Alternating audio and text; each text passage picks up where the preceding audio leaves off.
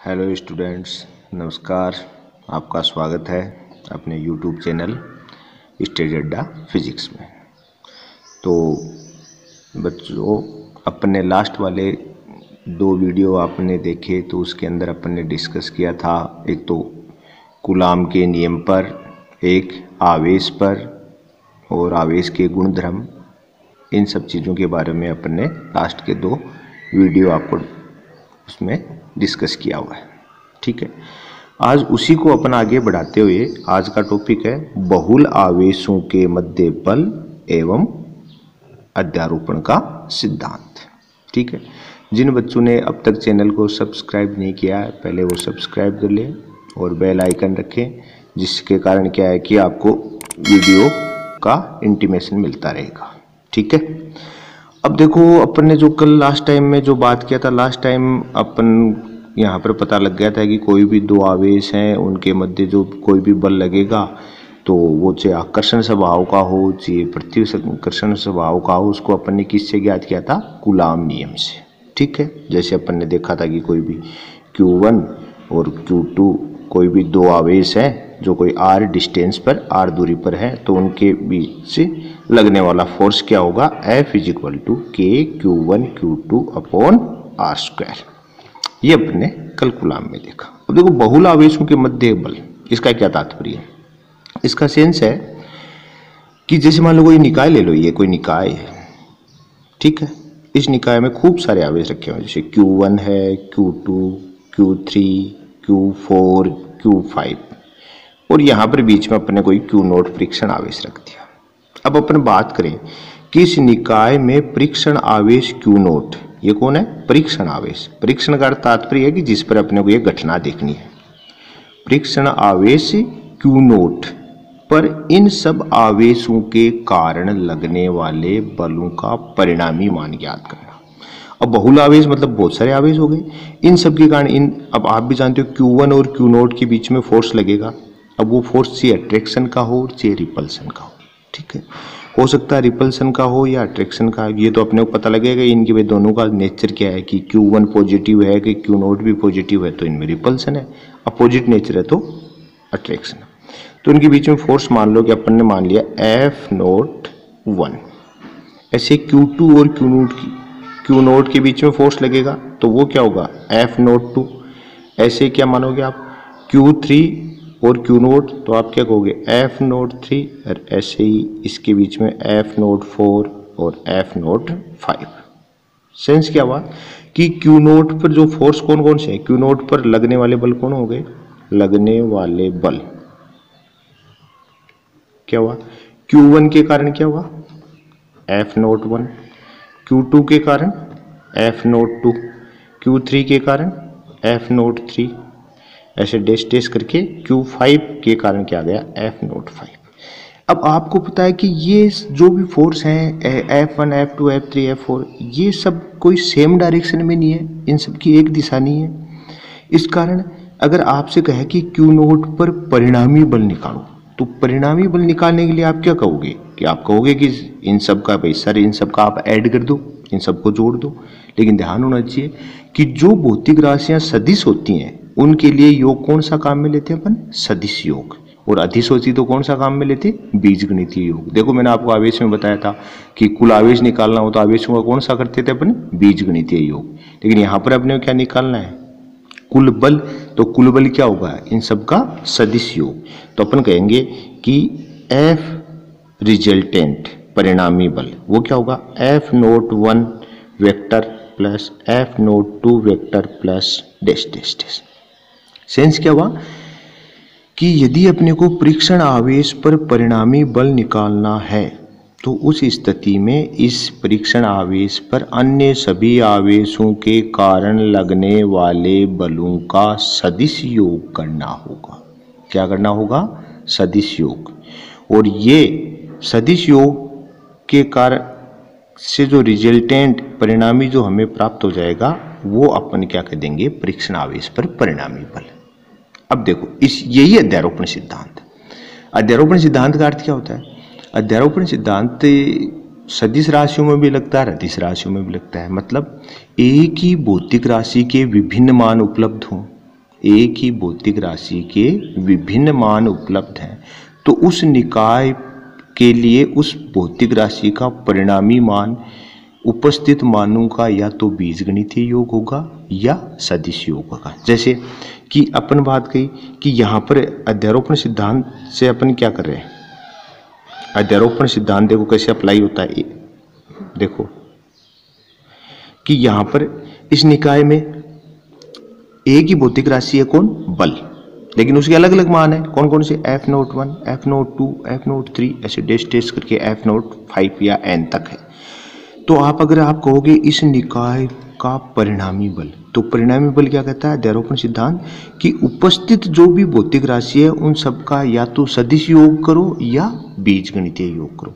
तो बल क्या है? सदिश राशि। इस कारण परिणामी मान क्या, ज्ञात करने के लिए अपन क्या करें? इन सबका सदिश योग। तो ये अध्यारोपण सिद्धांत के अनुसार परिणामी बल भी क्या होगा? परिणामी बल क्या होगा?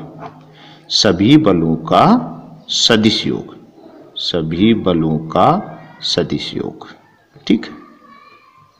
ये आपका बहुल आवेशों के मध्य बल या अध्यारोपण सिद्धांत। देखो, इसको यहाँ पर छोरी के रूप में यह समझने में कोई बहुत इजी लगता है कि हाँ ठीक है, सभी बल हैं, उन सबका सदिश योग कर देंगे, और यदि अधिस राशि होती तो सबका क्या कर देते? बीज गणितीय योग।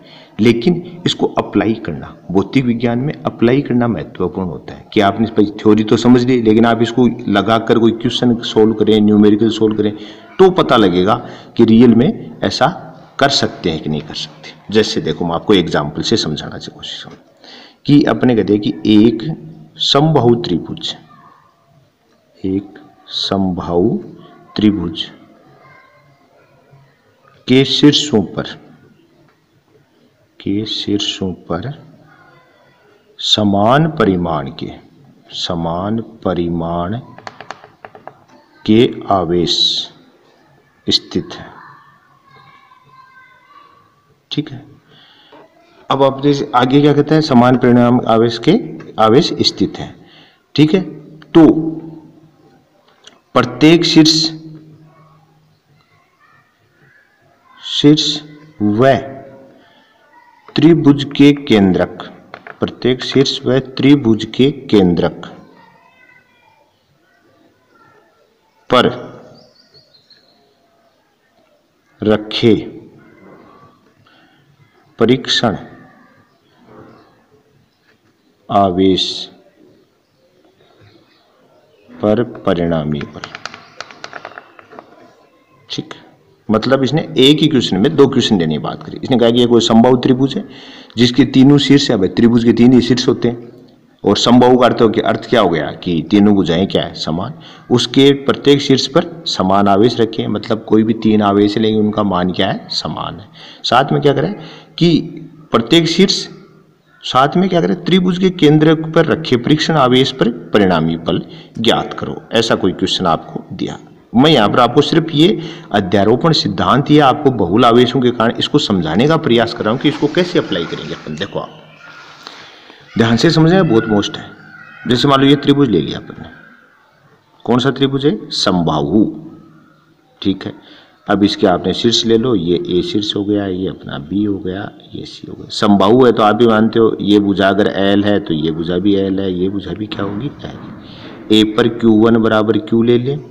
तो बी पर क्यू टू बराबर क्या होगा? क्यू और सी पर भी क्यू थ्री बराबर क्यू ऐसा आपने कोई क्वेश्चन में कहा है। ठीक है? तो अपन कह सकते हैं क्यू वन बराबर क्यू टू बराबर q three is equal to q और बुझा की लंबाई बराबर एल मान ले। ठीक है? अब देखिए कि अपने को अगर इसके केंद्रक की बात और कर रहा है तो केंद्रक क्या होता है कि इन शीर्ष से अगर अपन माध्यिकाएँ खींचे ऐसे लंब डाल दो इन शीर्षों से। यही अपन कह सकते हैं माध्यिकाएँ ये जाकर जहाँ पर काटेंगी, उसको अपन क्या बोलेंगे? केंद्र। तो ये हो गया केंद्र। यहाँ पर एक परीक्षण आवेश अपन क्या मान ले कोई? Q nought. हमने कहते क्यू नोट कौन है? परीक्षण आवेश। अब अपने को बल निकालने की उसने, एक तो कहा कि प्रत्येक शीर्ष पर जैसे ए पर बात करनी हो, बी पर या सी पर, किसी पर भी बल बात करें, या फिर अपन इसके केंद्र पर बात करें। तो देखो आप। सबसे शीर्ष वाले वाला में देखें केंद्रक वाला बात करें। देखो, ये क्या अब Q1 Q2 Q3 is equal to Q ये सब पॉजिटिव नेचर मान लिया अपन ने कि सेम नेचर है, चाहे ये सारे पॉजिटिव है या सारे नेगेटिव है। ठीक है पॉजिटिव ले लेते हैं। क्यू नोट परीक्षण आवेश अपन ले अब देखो Q1 और Q नोट दो आवेश हुए कि नहीं हुए? दोनों आवेश हैं तो गुलाम नियम लगेगा? गुलाम नियम लगेगा? तो Q1 आवेश जो है, वो Q नोट को प्रतिकर्षित करेगा, किधर करेगा, इसको दूर भगाएगा। तो अपन क्या कहेंगे? F nought one. Q one आवेश के कारण क्यू नोट पर बल इस डायरेक्शन में लगेगा बल हमेशा, बल की दिशा क्या होगी? दोनों आवेशों के मध्य की दूरी के अनुदिश। अब देखो, ये इन दोनों के मध्य की दूरी है तो इसकी अनुदिश ही है। हाँ ये दोनों समान नेचर के हैं, समान है। मतलब ये दोनों पॉजिटिव इस कारण ये इसको प्रतिघर्षित करेगा मतलब इधर धक्का देगा। ठीक है? ऐसे देखो आप, ये Q2 है और ये Q नोट इन दोनों के बीच की ये दूरी अब ये दोनों भी समान स्वभाव के, समान नेचर है तो ये भी इसको प्रतिकर्षित करेगा तो ये Q2 इसको इधर धक्का देगा।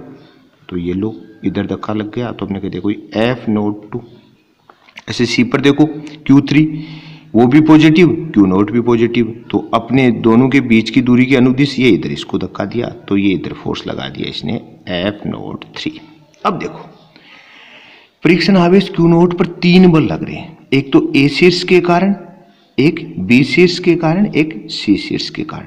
तो अगर अध्यारोपण सिद्धांत के अनुसार बात करें अपन, अध्यारोपण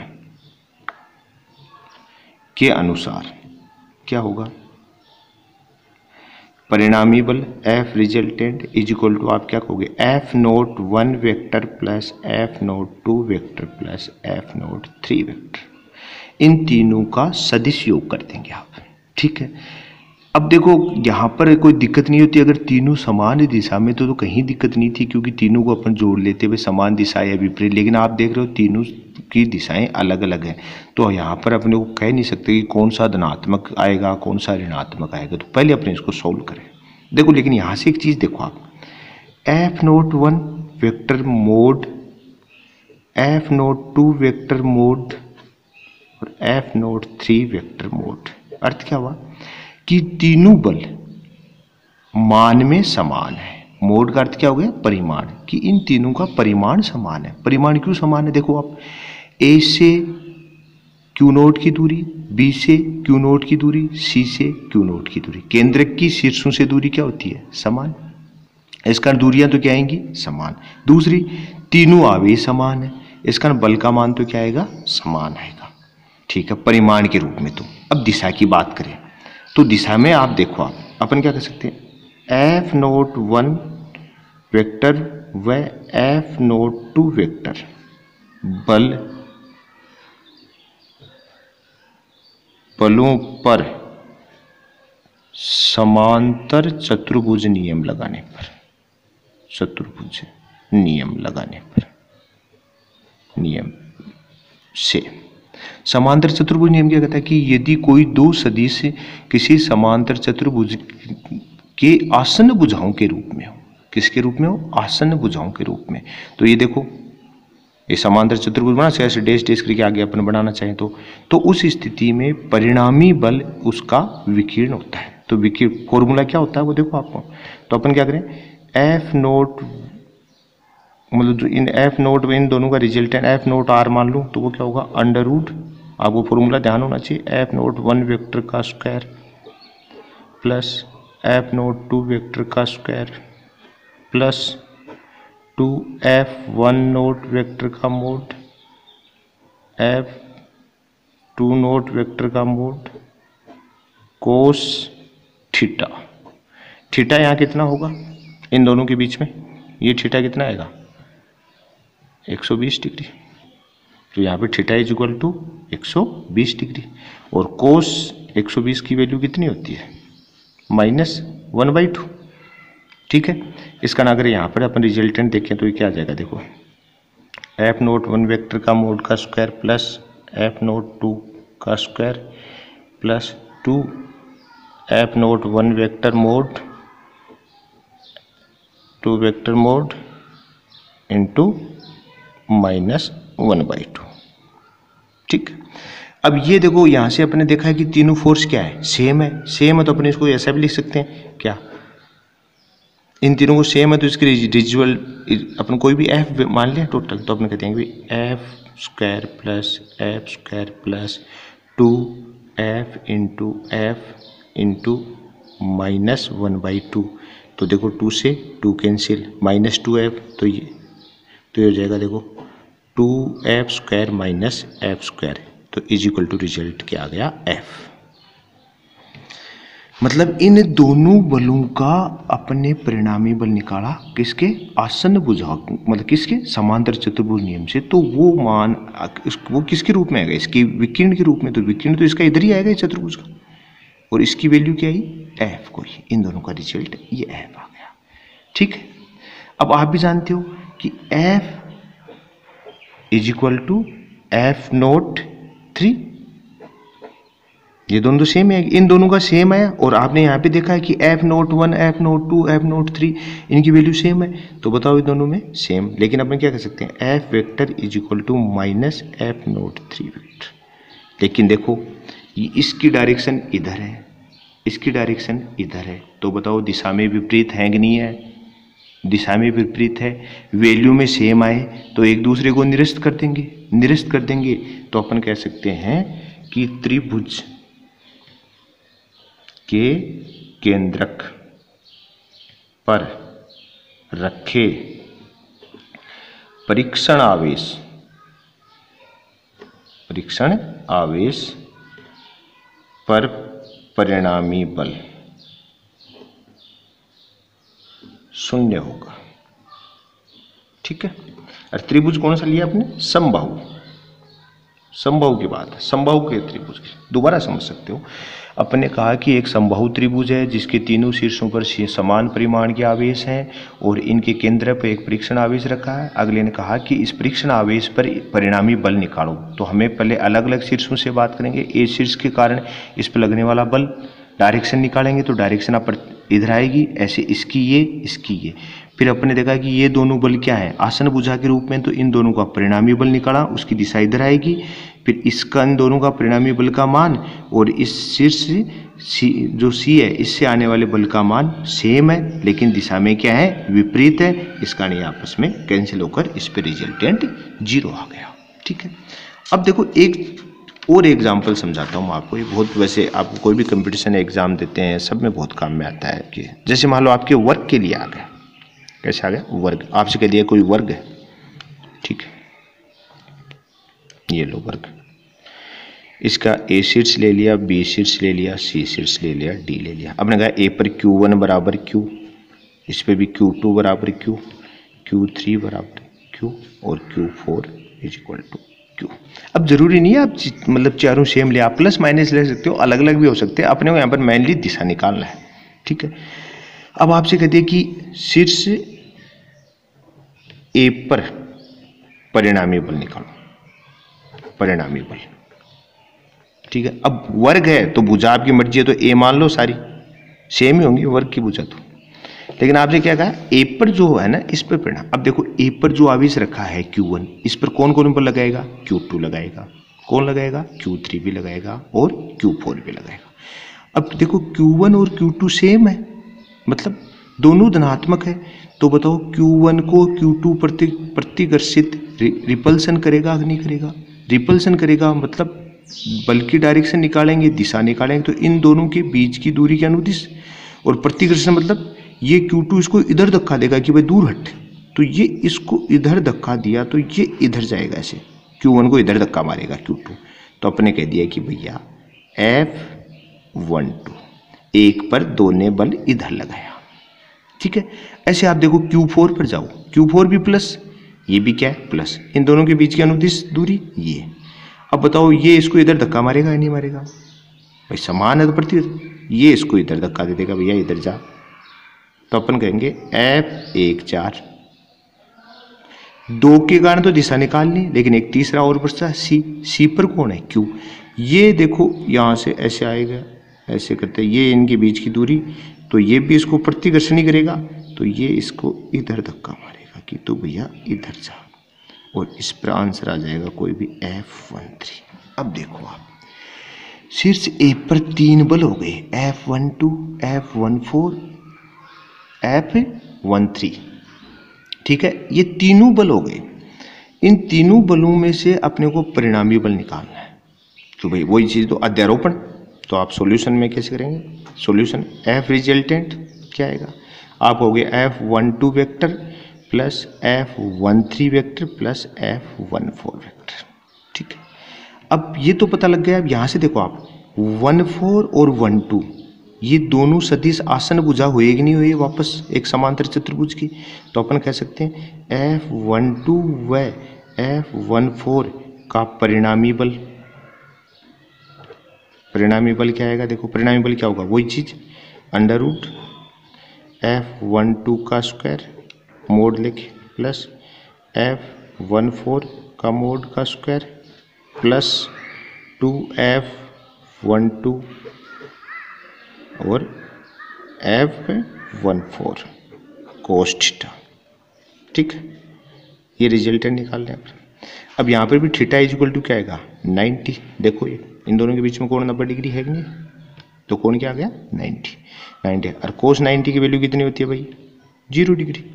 तो ये क्या आ गया? F resultant is equal to क्या आ गया? Under root F one two का square plus F one four का स्क्वायर अब यहाँ से देख लो वन टू इन दोनों के लिए क्यू तो same distance A one four के लिए भी देखो आवेश सेम डिस्टेंस ए तो यहाँ से आप ये भी कह सकते हो कि एफ़ वन टू का mod is equal to F one four का मोड तो अपने इसको डायरेक्ट ले सकते हैं एफ़ परिणामी under root two F one two या under root two F one four कोई सा भी हो सकता है, चाहे आप, ये दोनों सेम अब इन दोनों का जो परिणामी बल है वो ये आया किस पर आया? इन दोनों के बीच में विकीर्ण। तो विकीर्ण इधर आ गया। तो यहाँ पर आपका ये जो भी आपने रिजल्टेंट आप मान लो इसको एफ़ वन फोर की बजाय जो भी आपने इसको एफ़ आर मान लो तो ये इधर हो जाएगा एफ़ आर अब इन दोनों का परिणामी बल तो क्या आ चुका है? ये। इन दोनों का परिणामी बल ये आ गया। एफ़ वन थ्री है। तो आप क्या कहोगे अब? शीर्ष ए पर। परिणामी बल परिणामी बल तो अब क्या कहोगे आप? F A is equal to F R vector plus F one three vector ठीक है? अब देखो एफ़ आर और एफ़ वन थ्री दोनों समान दिशा में है तो जुड़ जाएँगे। अपने को कोई दिक्कत नहीं है, सदिश है तो भी। अब इन दोनों की आप वैल्यू निकाल सकते हो आप सब तो आप भी जानते हो, देखो एफ़ वन थ्री बराबर क्या होगा? K Q one into Q three बट्टे आर वन थ्री वेक्टर का होल स्क्वायर। वन थ्री के कौन सी दूरी आएगी? ये। One three. ठीक है। और ये दूरी क्या मान लो आप? One two. और ये दूरी क्या मान लो आप? One four. ठीक है। तो ये आ गया आपका एफ़ वन थ्री। ठीक है। ऐसे अगर आप बात करो एफ़ आर तो एफ़ आर देखो क्या निकाला है? या तो वन टू हो या वन फोर। अन दोनों का अंडर रूट में दो। तो देखो F R is equal to आप क्या कहोगे? Under root two into क्या होगा? के गुणा क्यू वन गुणा, या तो क्यू फोर ले सकते हो, या क्या ले सकते हो? Q two upon R one four का मोड का स्क्वायर ठीक है? इन दोनों की आप वैल्यू अगर आपको एग्ज़ाम में देगा तो क्यू वन की वैल्यू या क्यू टू कुछ ना कुछ तो दी हुई होगी, नहीं तो देगा तो वो पुट कर देना। जैसे अपने क्वेश्चन के अनुसार बात करें तो अपने पुट क्या हो जाएगी? के गुणा क्यू गुणा Q upon R one three तो ये यहाँ से लेके यहाँ तक दूरी, ये समकोण त्रिभुज बना नहीं बना तो ए स्क्वायर ए स्क्वायर का अंडर रूट तो क्या जाएगा? अपन बात कर सकते हैं, देखो A square plus A square is equal to R one three का स्क्वायर तो तो अपन कह सकते हैं आर वन थ्री का मोड इज़ इक्वल टू क्या जाएगा? Under root two A square या आर वन थ्री का mod is equal to under root two into A ये दूरी आ गई और आपकी आर वन टू या ये सब क्या है? ए अपन पहले से मान रखिए हैं तो इसके इज़ इक्वल टू अपनी बात करें तो ये हो जाएगा under root two into A का होल स्क्वायर और ऐसे इसकी वैल्यू पुट करें एफ़ आर की तो क्या आएगी? अंडर रूट टू इंटू के गुणा Q into Q upon A square इन दोनों को आप ऐड कर देना और रिज़ल्ट इन वन आ जाएगा. ये एक अपना अध्यारोपण सिद्धांत है। ठीक है? दोस्तों, आज अपन ने एक एक ही टॉपिक डिस्कस कर पाए हैं अपन अध्यारोपण सिद्धांत, लेकिन ये बहुत मोस्ट है। मोस्ट इसलिए है क्योंकि जब तक आप ये फिजिक्स में जो पढ़ा है, उसको अगर अप्लाई करना नहीं जानोगे कि कैसे अप्लाई कर सकते हैं, क्या करें अब यहाँ पर अपने पढ़ लिया कि किसी भी निकाय में अगर कोई आवेश रखा है, उस पर अन्य आवेशों के कारण लगने वाला बल, वो सबके आवेशों के कारण अलग अलग हुआ। कोई F one F two F three ऐसे। और आपसे क्या परिणामी बल बताओ तो आप क्या करोगे? उन सब का क्या करना पड़ता है? सदिश योग। ठीक है? अब ये तो स्टेटमेंट तो दो लाइन का है। अध्यारोपण का परिणामी योग हमने सदिश योग कर दिया।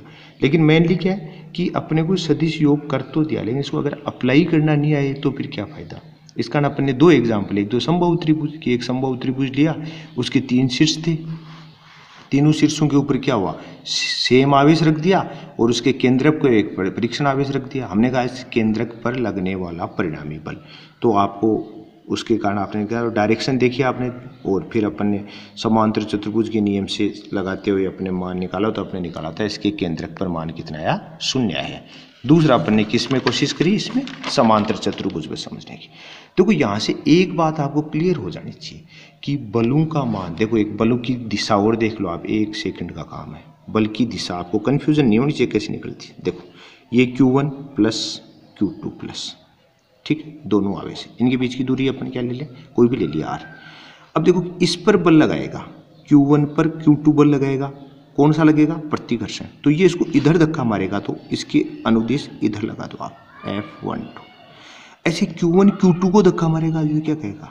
एफ़ टू वन ये दोनों को ऐसे अगर ये क्यू वन प्लस का होता है ये मान लो माइनस का होता तो देखो, इनके बीच में क्या होता क्यू वन क्यू टू को खींचता कि नहीं खींचता कि आप इधर मेरी तरफ़ आओ।